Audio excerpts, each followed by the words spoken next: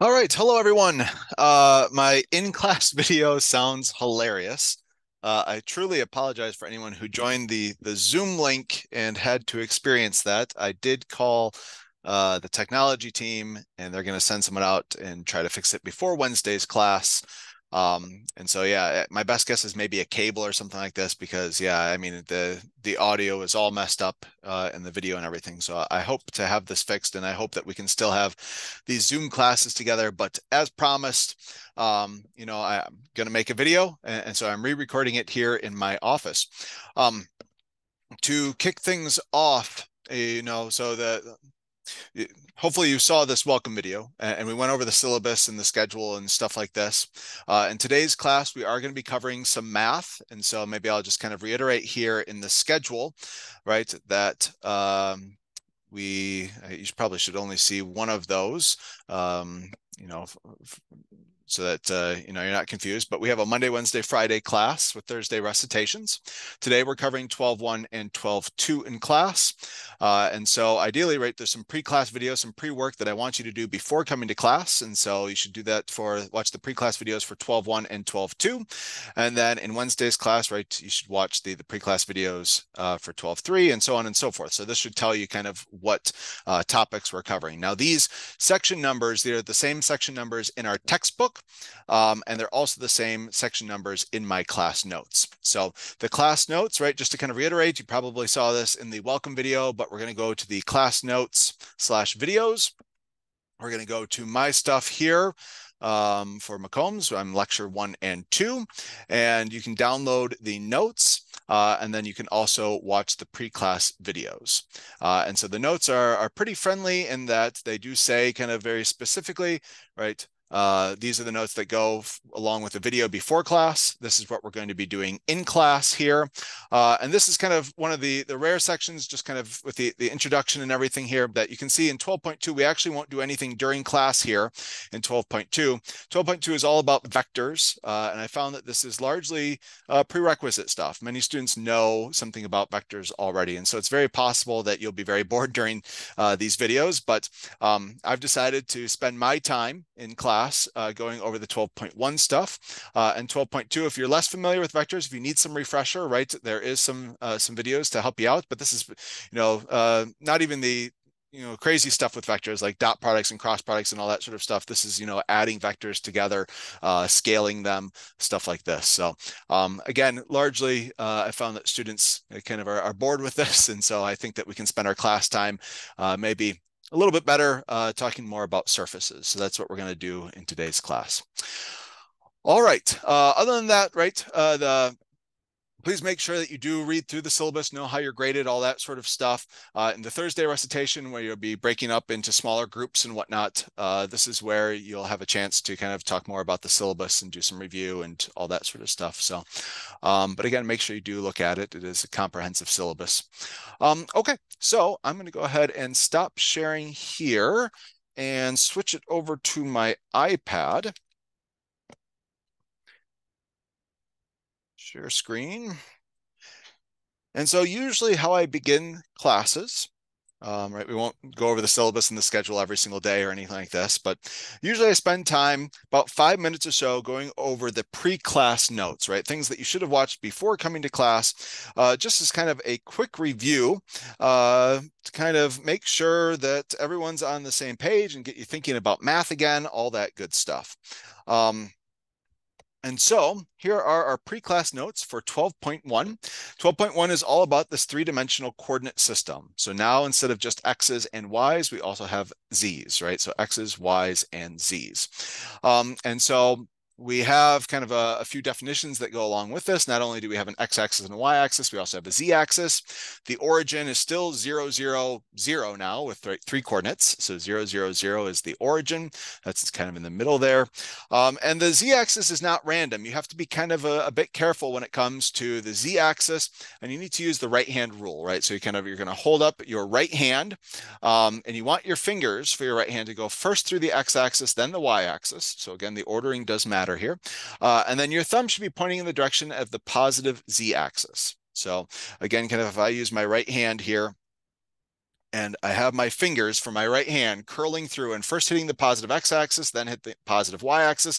Again, my thumb should be pointing in the positive z-axis. So that's why the positive z has to be pointing up in this case. Um, on the other hand, if you were to reorder these and right, you don't put X on the left and Y on the right, maybe you kind of redo this and you say, I want my Y to be on the left and I want my X to be on the right. Uh, well, in that case, right, if I was to go through the, the X axis first, the positive X axis, then the positive Y axis, and I was to go in this direction with my fingers on my right hand, you'll see that my thumb is actually pointing down now.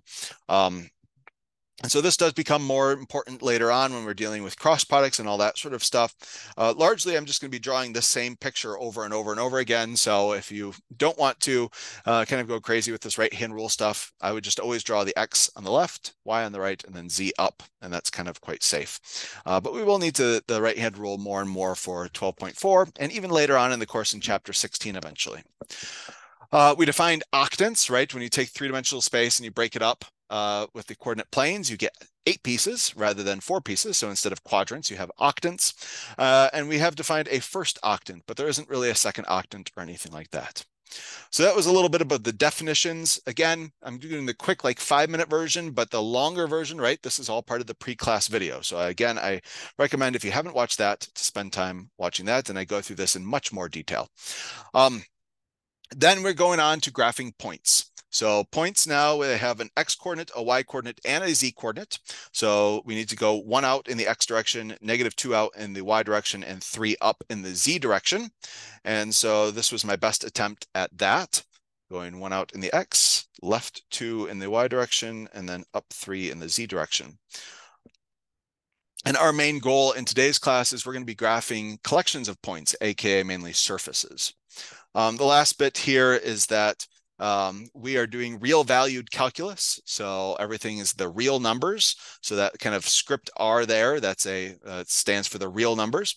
Of course, you know something about complex numbers. We've had some complex numbers in algebra and whatnot. And luckily we're not doing that. Uh, eventually, you know, there is complex calculus. I think it's math 432 or something like this uh, here at MSU. So, I mean, it does exist. You can take that class, um, but that's not going to be the, the math that we're doing. So we're going to stick into the real numbers, uh, which is quite nice. So this is basically just saying that that uh, x is a real number, or the first coordinate is a real number.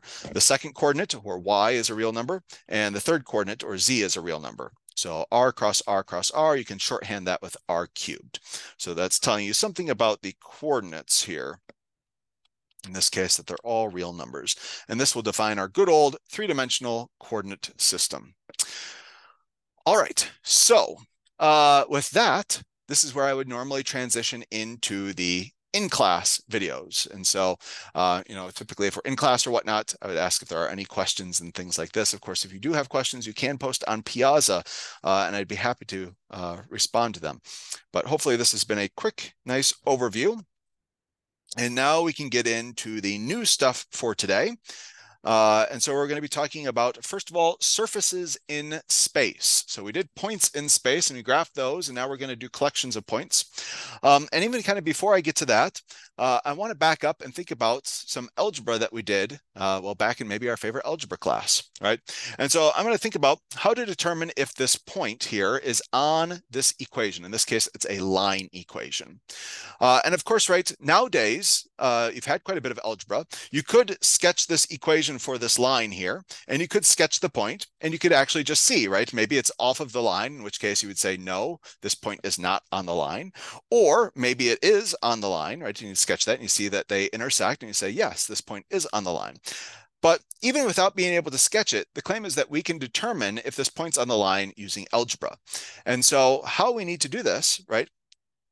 If this point's on the line, well, then it must satisfy the equation of the line, right? Because when we graph an equation, it's the collection of points that satisfies that equation. And so I have an x coordinate and a y coordinate, and I have a place that I can plug in x's and y's, right? So everywhere I see an x, I'm going to plug in one. And everywhere I see a y, I'm going to plug in four. And the question is, when I plug these things in, does this satisfy our equation? In this case, does it equal one? And so in our case, right, we get negative 15 equals one. And so we can see that no. So in this case, if we were to sketch these, we would see indeed that the line and this point, right, are not intersecting, right? So the, the point is not on the line. So we can use that algebra to tell us something graphically, right? So that algebra that we did right there, the fact that negative 15 is not equal to 1, tells us graphically that this point is not on that line. Now, the reason I bring this up is because I'd like to play the same sort of game but in now three dimensions. And in three dimensions, I don't know how to graph this right now, right? Later on in our class, we will talk about how can we maybe graph this. Um, but as of right now, I, I, don't know how to graph it. And so I can't do the graphical approach where I sketch it and I sketch the point and I look at that and I say, are these two things, right? Is this point actually on this plane, right? Do they intersect? Um, and so, but we do still have the algebra. And so I'm going to go ahead and use the algebra here. Again, now we have an X, a Y, and a Z coordinate. And so I can go ahead and plot these things or sorry, plug them in. Um, and so we have one minus four, and everywhere I see a Y, I'm putting a four, and everywhere I see a Z, I'm putting a two. And the question is, does that equal one? And so we get one minus 16 plus 16. And ooh, I can tell already that yes, that this does work out. We get one is equal to one. And so the answer would be yes. So if I could sketch this out, right, I would see that this point is indeed on this plane, that they do intersect. And moreover, this can be done for even more complicated things. So here is a surface. I don't even know what this looks like. I would need to use some fancy graphing technology, you know, in order to figure out what this surface even is. It's some weird cubic surface thing. So I don't even know what this is, but still I want to be able to answer the question, is this point actually a part of the surface? And so the strategy is the exact same. Everywhere I see an X, I'm going to put a one. Everywhere I see a Y, I'm going to put a negative three. Everywhere I see a Z, a Z I'm going to put a zero. And I'm going to plug these things in and see if they satisfy the equation or not. And in this case, I get that one is equal to negative three. And so that's complete nonsense. No, uh, this point is not on this surface. So you can see that you can do this even for quite complicated surfaces. All right. So moving on, remembering that, um, you know, if a point satisfies the equation of the surface, that's what it means for it to be on the surface.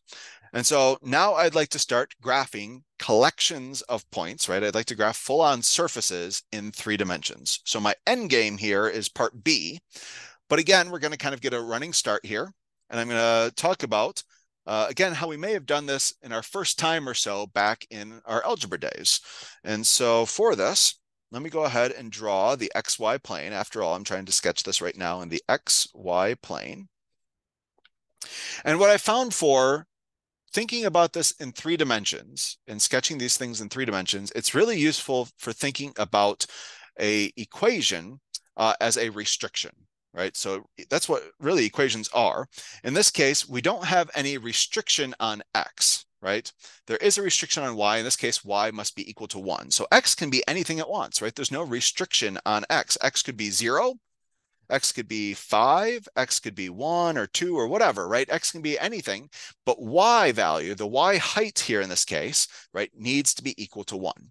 So any of these points do satisfy uh, this equation. They would all be points on, in this case, it's a line, spoilers, right? Uh, you probably already knew that.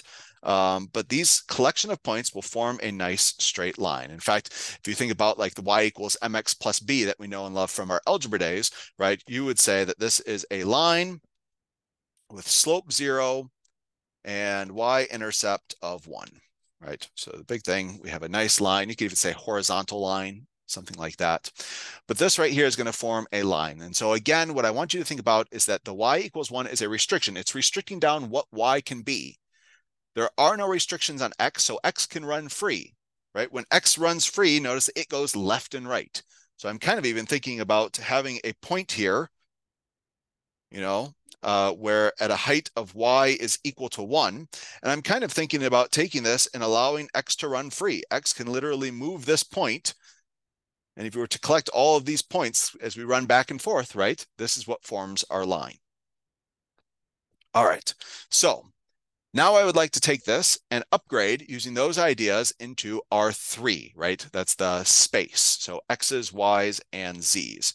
Which by the way, if you wanted to, the XY plane, you can denote this as R2, by the way. So this is X's and Y's only. Um, and again, X's and Y's are real numbers each. So, all right. So y equals one. So first of all, let me go ahead and draw my three-dimensional space. Again, I'm always going to start with x's and y's like that. And then with that, my z's can be uh, going up, which I kind of like. All right, so in this case, again, thinking about restrictions, we have a restriction of y is equal to 1. So x can be anything. There are no restrictions on x. z can be anything. There are no restrictions on z's, but there is a restriction that y needs to be equal to 1. So if I was thinking about a point to plot, right, maybe a nice one would be 0, 1, 0, right? Again, x being zero, so I haven't gone out any in the positive x direction. z being zero, so I haven't gone up any, but y needs to be equal to one. So right, y needs to take out one step in the y direction. So something like this. All right. But of course, right, there are many, many points that would satisfy y is equal to one. For instance, x can really be anything that it wants. There are no restrictions on x. So I could run free in my x direction, right? So x could be equal to one, or two or three or negative one, negative 100, right? X can be anything that it wants. And the only restriction is that Y must be one step out, right? We must take one step in the Y direction. So any of these would satisfy this equation. Likewise, right? I chose X there, but we could have chosen Z, right? Z can be anything that it wants. So Z, when things run free in the Z direction, right, they're going to go up and down. So this would be when Z is equal to one or two or three, negative one, so on and so forth. Z can be anything that it wants because there aren't any restrictions on Z. So all of these points, again, so long as we take a step out one in the Y direction, uh, we've satisfied our equation, our restriction. But also we can do any combination of these things, right? We could do X is equal to one and Z is equal to one, right? There are no restrictions on these. So we could do stuff like this. And so we could take a nice, like any of these lines here, and when you accumulate all of them together, we end up forming a nice vertical plane. So this right here, our nice vertical plane is what y equals 1 is in xyz space. So this is a plane, or you could say a vertical plane.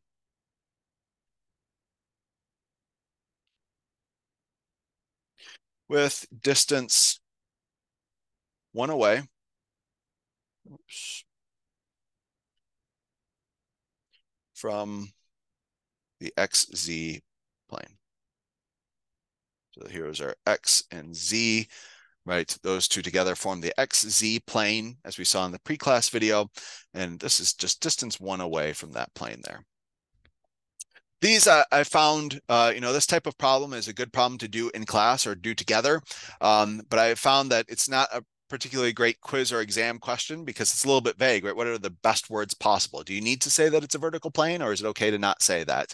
Is it okay to, I mean, I decided to say distance one away from the XZ plane. Is that poss is that needed? Um, is that better than some other phrasing, right? And so again, this is a good problem to do in class, but uh, it's a little bit vague. What do you mean by best possible wording? Uh, and so uh, I find that this is not, would not be really appropriate for a quiz or for an exam.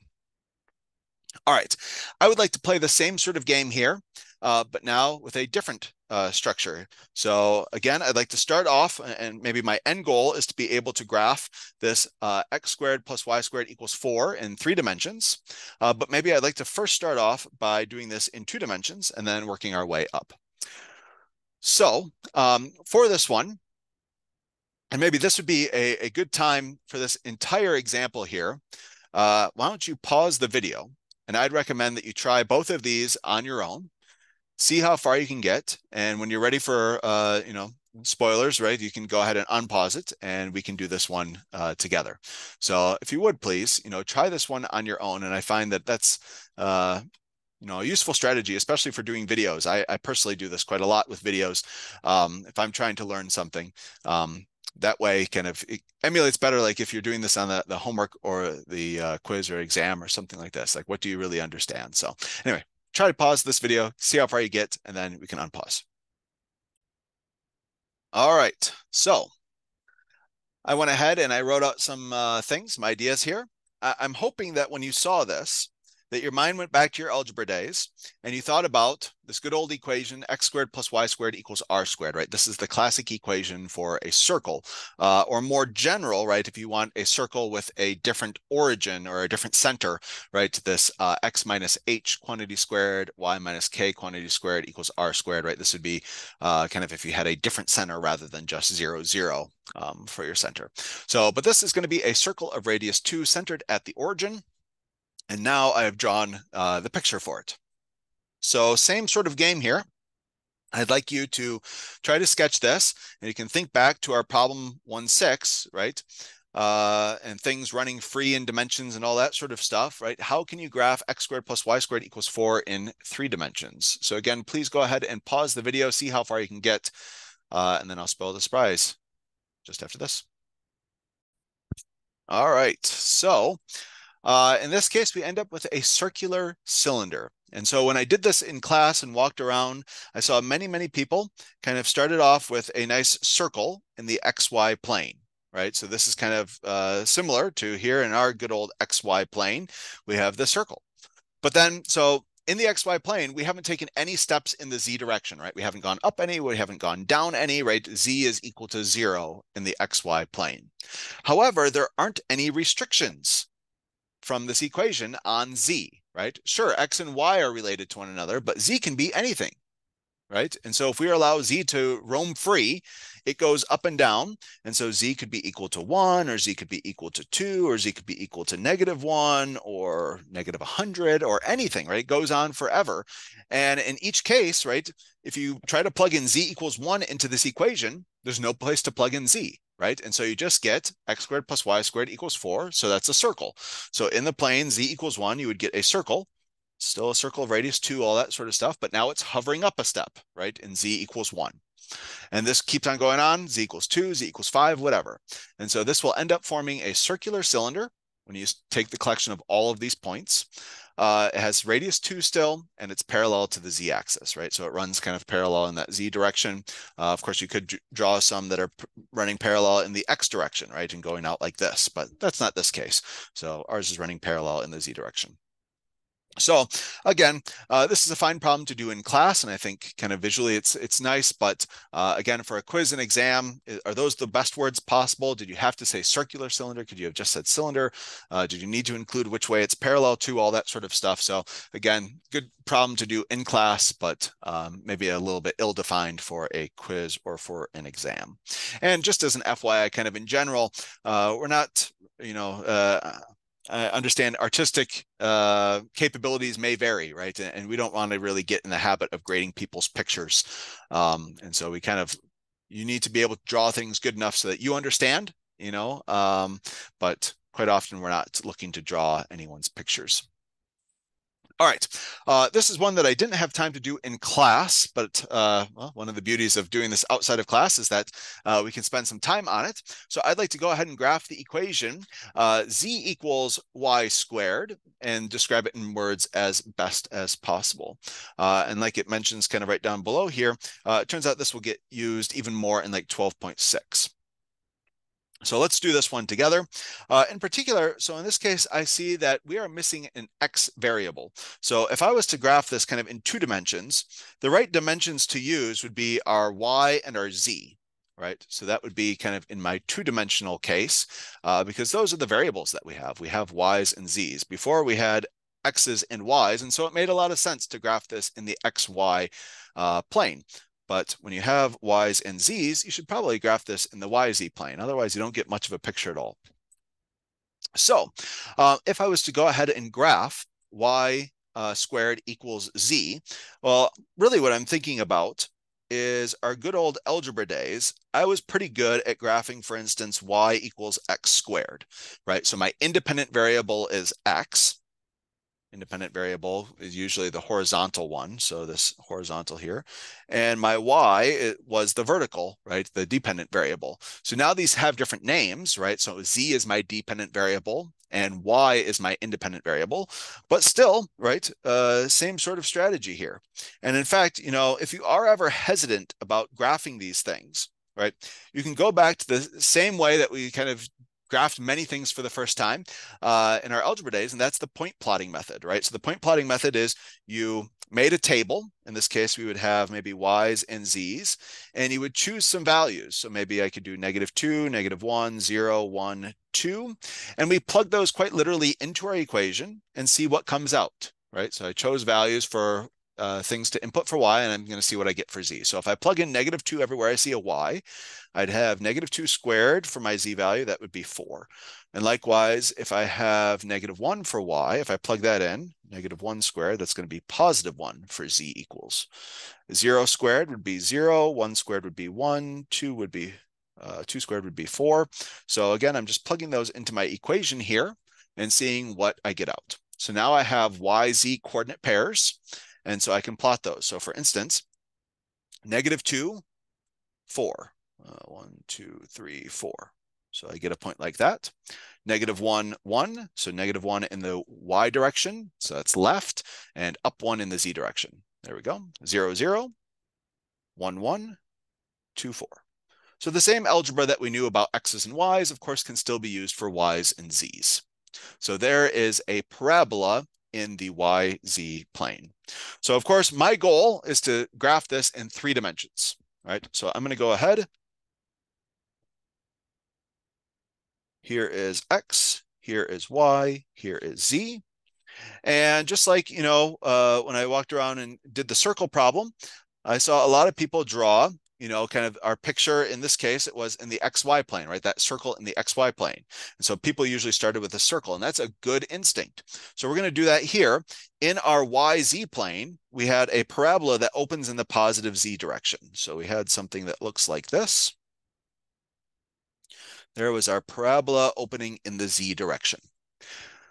Now notice that there are no x's involved with this. There are no restrictions on x. So x can run free and it can quite literally take this parabola here, and I'm going to go ahead and maybe copy and paste. I hope I got it all. No, I didn't. Let me go ahead and uh, undo that. I want to get nice, goes all the way across. There we go. All right. So now copy, paste, and I can offset this in the x direction. Maybe x is equal to 1 or x is equal to 2 right? So I can take steps out, you know, uh, in the x direction. And again, when I go to try to plug those into my equation, there are no x's. It's independent of x. And so I just get a copy of that same parabola, but now just shifted over. And you can also go in the negative direction, right? We could go back here. So this kind of looks like, I don't know, I feel like see some like dinosaur ribs or something like that uh, in some cartoon. Uh, but we get this kind of infinite parabola that goes out of the page here. So let's go ahead and maybe shade it a little bit, something like that. There we go. So that is our picture. And again, what are the best words to go ahead and describe this? Um, well, we'll find out in 12.6 some better words to use, but it turns out this will be called a cylinder, which is funny because you don't usually think of a cylinder uh, that looks like this. And that's why I specified up here a circular cylinder, because uh, we will have kind of a broader definition of what it means to be a cylinder here in Calculus 3. Um, and this is, uh, I guess if you wanted to be very specific, it's going to be a parabolic cylinder, and it's parallel to the x-axis. So it runs parallel to the x-axis, and that cylinder uh, right? It's a bunch of parabolas. All right. So with that, let's go ahead and jump into our next subsection, final piece for today. We're going to need to talk a little bit about spheres. So with spheres, uh, as I mentioned here, uh, there's quite a few times in the class where if we know something about uh, how something in two dimensions is defined, that we can uh, upgrade into three dimensions by just sprinkling in some z's. Uh, and this is indeed one of those times. A lot of the sphere stuff here, you'll see uh, that basically if we sprinkle in some z's, uh, it will upgrade appropriately. So we have the distance between a couple of points. This is how kind of the, the talk about circles, uh, and in this case, spheres kind of always talks is a, uh, about a distance between points because uh, these things are very geometric in their definition. And so we need to talk about a restriction of a speci specified distance, you know, between a couple of points. So if we have a couple of points and we have uh, three coordinates, right? These are in space. Um, well, if they were in two dimensions only, right, the distance formula between points goes like this, x2 minus x1 squared, y2 minus y1 squared, all under a square root. But now, because we're in the three-dimensional coordinate system, you would probably guess, well, we need to include in our z's, right? Maybe z2 minus z1 quantity squared. And let's go ahead and throw that in a square root as well. And it turns out this is exactly the right uh, definition. This gives the, uh, the right formula uh, for the distance between two points. Now, um, you can prove that this works out uh, as one would expect, and to do that, you would use the Pythagorean theorem. So the Pythagorean theorem will prove that this does indeed give the distance between two points. Um, and in fact, for the three-dimensional case, uh, you'll need to use the Pythagorean theorem twice. And so, um, but that's how one can prove that this uh, gives a good formula. So let's go ahead and try to use it um, let's say that my first point here, this will be x1, y1, z1, and my second point will be x2, y2, z2. And so my distance, which maybe I'll denote by d, is going to be x2 minus x1 quantity squared, y2 minus y1 quantity squared, z2 minus z1 quantity squared, all added together and thrown inside of a square root. So let's see, 2 squared will be 4, Negative 3 squared will be 9. Negative 3 squared will be 9. So this will be 18 plus 4 will be root 22. So my distance between these two points is root 22.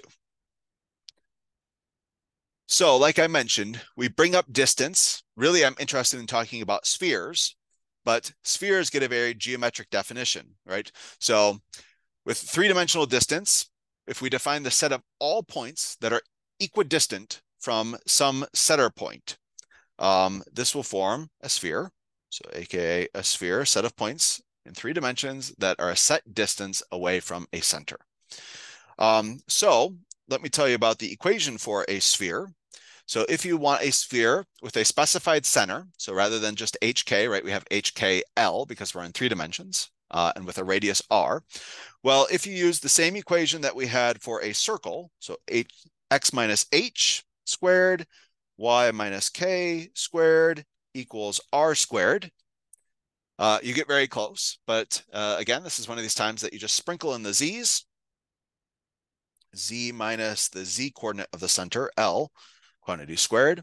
Uh, and this indeed will give us the right formula for a sphere. All right, so with spheres, there are two main types of problems that you're likely to see on our homeworks and consequently the quizzes and exams and whatnot. Um, one is, if I give you a radius and a center, can you give me an equation for a sphere? So in this case, uh, this problem is specifying a radius and a center and would like to get the equation. Uh, and the other type of problems is going in the, the other direction. So start off, I give you an equation. Can you tell me the center and the radius? So let's do those two types of problems here to finish off today's class. So if I have a specified radius of two and a specified center, right, my h, k, and l value, I can go ahead and plug these things into the formula. So the main thing is, do you remember the formula or not? So x minus h quantity squared plus y minus k quantity squared. So in this case, y minus a negative 2 is the plus 2 there. And then z minus l quantity squared is equal to r squared. 2 squared would be 4. So I personally like uh, when students leave their final answers like this don't try to expand out or all that whatnot. Uh, just because, first of all, you could make a algebra mistake or arithmetic really mistake uh, when you're simplifying and accidentally get the wrong answer. Uh, but also from a grading standpoint, it's very clear uh, where you're trying to plug in for your center and for your radius. So it's much easier for me to look at this um, and grade and see if it's right or wrong. All right, so on the flip side, we have an equation now and from that equation, I'd like to figure out uh, really the radius in the center. So again, I kind of went back and I used the same words as we had in our other types of problems for our surface. Um, but I'd like to describe this surface as best as possible. So that's going to, well, we can see that it's a sphere. And so I should maybe mention what the radius in the center is if I want to describe it as best as possible. So if you'd like to, you can go ahead and rewrite this. Uh, it's a little bit silly, but only a little bit, right? And now you can really see what your H is, your K is, your L is, and your R. All right, so this is going to be a sphere um, of radius one, centered at zero, zero, zero. All right. So just like we have the unit circle back in our trig days or algebra days or whatnot, uh, you could call this a, the unit sphere. Okay, a little bit more difficult now. Describe this surface as best as possible. So, I mean, we're in a, a section about spheres, so I'm thinking it's probably going to be a sphere.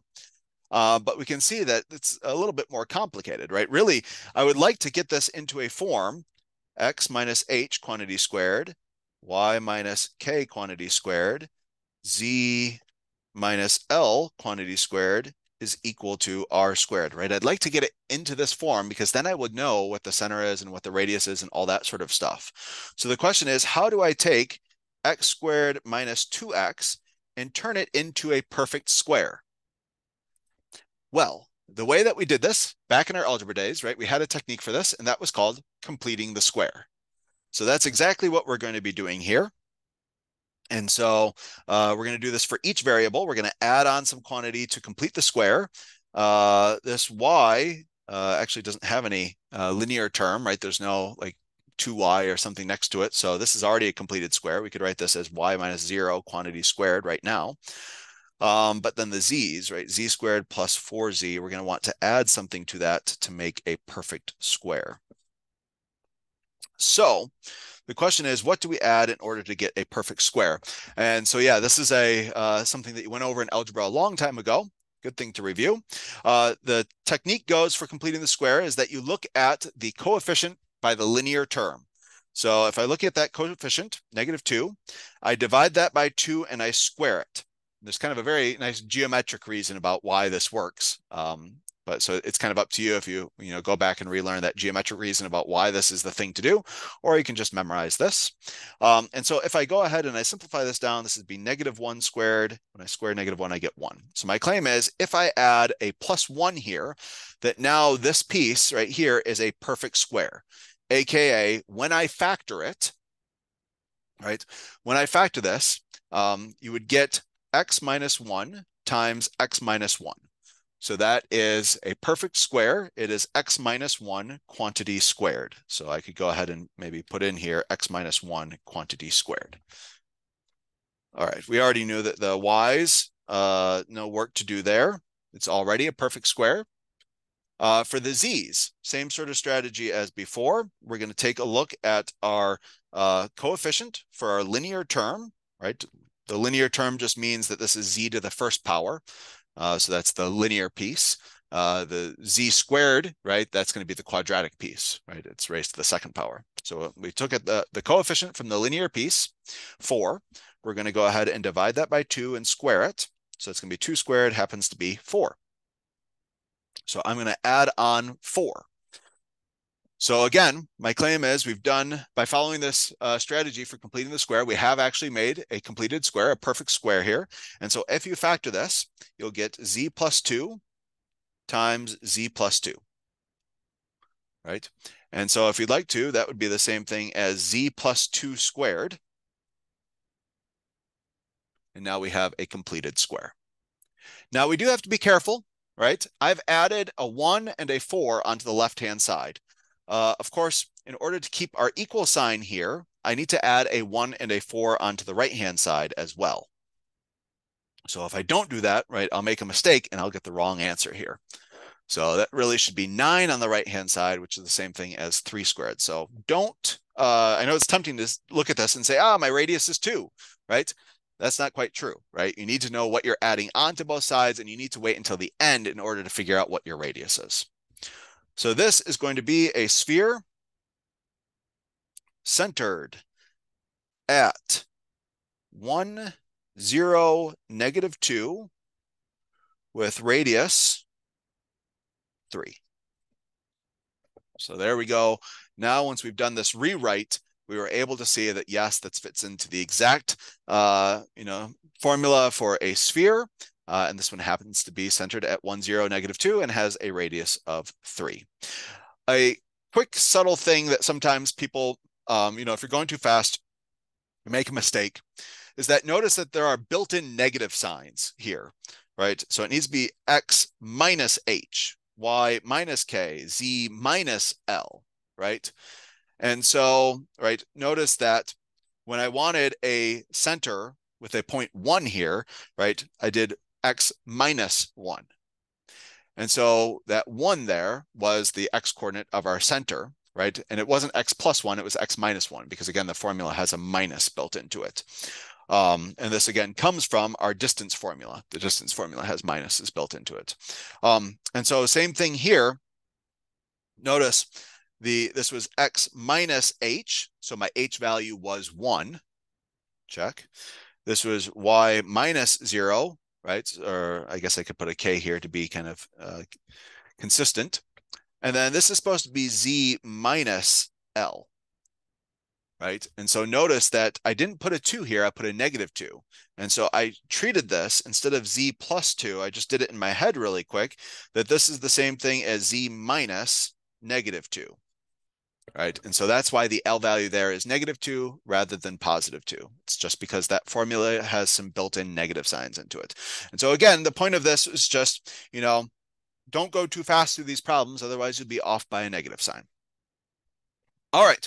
So uh, because I'm recording this afterwards, right, I was able to do all the problems and it takes as long as it takes sort of deal. But in general, if I don't get time to go over all the problems, I will post them on D2L as a PDF at very least. And of course, the problems that we do in the video are available in the video and you can rewatch those as uh, slow or fast as you want. So, all right. Uh, thank you so much. And again, I apologize for the Zoom issues in class today. I uh, greatly hope that they'll be able to fix that. Uh, again, it seems like a wire or something like that because it sounded fine in class, but I, I mean, I, I, went back and rewatched the video and it's it's just it's garbage. So um, again, sorry about that. Uh, thank you for watching, and I will see you guys hopefully on Wednesday. All right, take care.